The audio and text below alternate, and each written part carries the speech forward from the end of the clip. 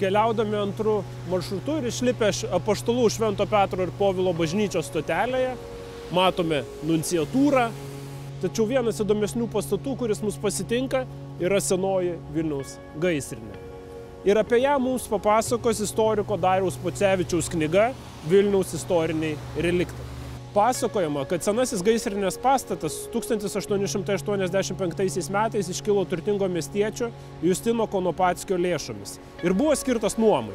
Vilniui būdingo plytų stiliaus pastate iki antrojo pasaulinio karo veikė krautuvėlės, gydytojų kabinetai, nuolat gyveno kelios šeimos. Prieš karą visi nuomininkai buvo iškraustyti ir čia įsikėlė ketvirtoji Vilniaus gaisrininkų komanda.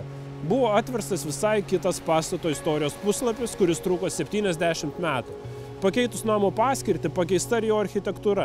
Pirmame aukšte įtaisyti vartai trims automobiliams, o rytinėje pusėje iš raudonų ir geltonų plytų sumūrytas stebėjimo bokštelis. Vilniaus senbuvių žvilgsniai prie jo taip priprato, kad antstatas atrodo lik čia buvęs. Bokštelis iš tikrųjų nedarko namo išvaizdos ją savitai papildo. Tiesa, įdomus faktas. Jį reikėtų vadinti ne stebėjimo, o džiovinimo bokšteliu. Viduje išlikę mediniai laiptai nuo antro aukšto vedantis į viršų, tačiau yra ir keltuvas, kuriuo šlapios gaisrinės žarnos būdavo perkeliamos į viršų, kad greičiau išdžiūtų. Nuo 70-mečio bokštelis būdavo naudojamas būtent tokiam tikslui. Taigi, senoji gaisrinė ir keliaudami antrų maršrutų toliau prie Šilo tilto mes galime sutikti naująjį gaisrinės pastatą, tad keliaukime pirmin Saulėtekio link.